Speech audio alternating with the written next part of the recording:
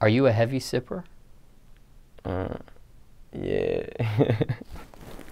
uh, not no more though. I used to be. Like, really? You calm down on it? Yeah, I calmed down because, man, Why? that pouring threes will get you fucked up. I'm telling you, pour three every day, you going to fuck yourself up by the end of the week. you going to be in the hospital. I went to the hospital, they had to they had to suck that shit out my dick. Like, yeah, like I, I almost I almost croaked on that syrup. Like, ask my mom. Yeah, that young boy I tell you, yeah, like me, man, me, young boy drunk pints. Like we done drunk, we done, we young boy pulled up pints. Like we used to drink pints a day, like. And then we just recently started pouring threes when you know when that when, like pour three for three, man. Do that shit for three, three shit. Now, okay. What point did it get to you having to go to the hospital? Did you just pour too much that day, or was it a culmination of just the heavy usage of it that landed you in the hospital? It was like drinking, It like from them days like led up to that day, cause like we had drunk a whole pint. Like we was drinking pint for pint for pint. Like yeah, not giving a fuck. Cause like I don't know, we had a lot of that shit. That shit cheap. Now, what happened to make you even go to the hospital? Did you have a pain in your stomach, or Yeah, yeah. I, I felt my stomach like I made my stomach just locked up, and I just dropped to the floor. Wow. My mama brought me straight to the uh, emergency? to the room? emergency room. Yeah, and they yeah, they, And they stuck a tube yeah, yeah, on your. Yeah, and sucked it out my shit. That, yeah, Was that painful? yeah, Yeah. When they stick a tube in you like that, do they numb you before they do that, or they just? no, no. I mean, like I, it was like I you mean, ain't I've, really, I've you ain't never. really gonna feel it till like you they really sucking the shit out of you, but shit like I don't know, like you don't want to fuck with that shit, like that shit. Yeah, So they suck the, I guess, what would they? What did they call it? Like an, what would they call it? Like an overdose? yeah. Is it an yeah, overdose or is it a poisoning of your stomach or Yeah. what? What's the actual label to? I don't know, like I don't know. The shit just shit at the bottom of your stomach, like it's right by your, you know, like right under your shit. So I don't know, like And then what happens? Your stomach like unlocks or something? No, like I don't know. I was I went to sleep after they did that shit. So like they give you medicine. I don't know. Like I just That sounds just- so painful. yeah, that shit was fucked up. Just the description of it. Yeah. Now, after that, did you quit or did you just slow up on sipping it? or- yeah, I slowed up on that shit. Have you ever tried to quit altogether? Like, period, like, I'm not sipping no more. Yeah, I tried it, but What it don't work. that shit gonna have you not want to eat, not want to sleep. I don't know. I heard the withdrawals can be very, Yeah. very bad. And that's what keeps people Yeah. addicted to The it. shit tastes so good, cause I man, I swear, man, I sip that shit like Kool Aid, like Now, when you say it tastes good, are you talking about sipping it raw? Like straight out the bottle? mm-mm. Or are you talking about mixing it with soda yeah, or something? just pouring it, pouring it up. I ain't gonna drink it raw. I ain't that gangster. Yeah, ouch. If whoever like that, they gonna die. yeah, straight like that. okay, now, how long would you say you were a heavy sipper for, if you can estimate? for about for about a good three years. Like, Three years. mm-mm. Okay, now, what does sipping do for you exactly?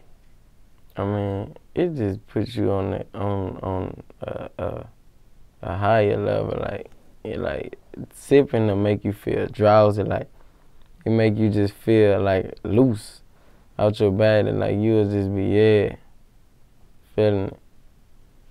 But, you know, like marijuana can make people feel loose. Mm-mm. Alcohol or liquor can make people feel loose. Why? Why sipping? I don't know. Like, it just I don't know. It just make you feel heavier.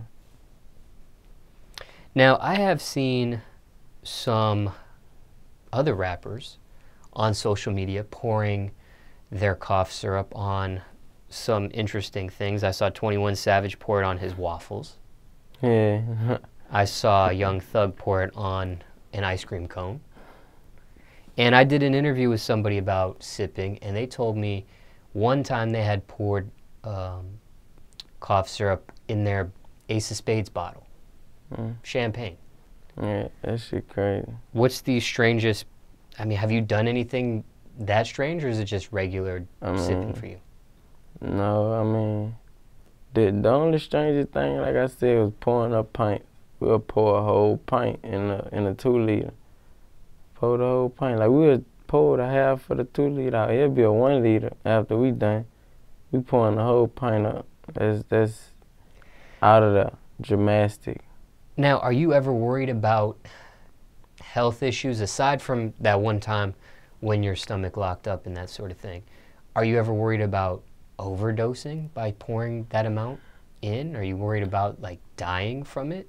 I mean, yeah, I mean, I was, I was scared when I saw Wayne. uh, When I heard, well, when I heard about Wayne, you know, ODing of that shit. But I mean, I ain't never think about it because we do it every day. Would you say you're addicted?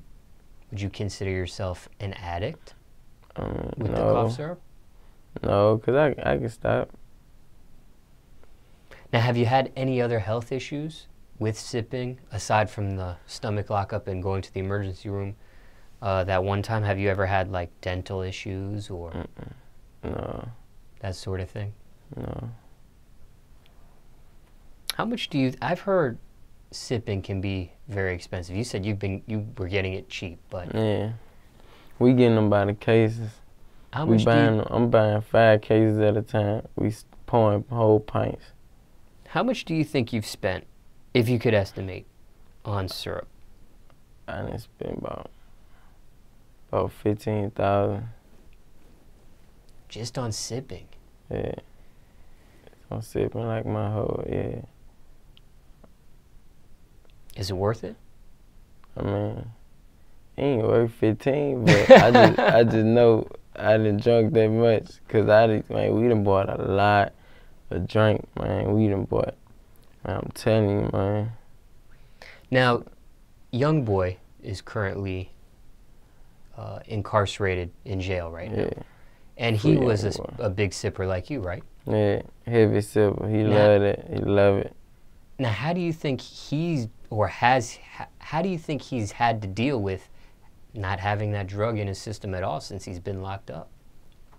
Um, he, I mean, he, I ain't lying. The first couple weeks, I know he was crying because he was aching, pain. Like, I know he was going through it.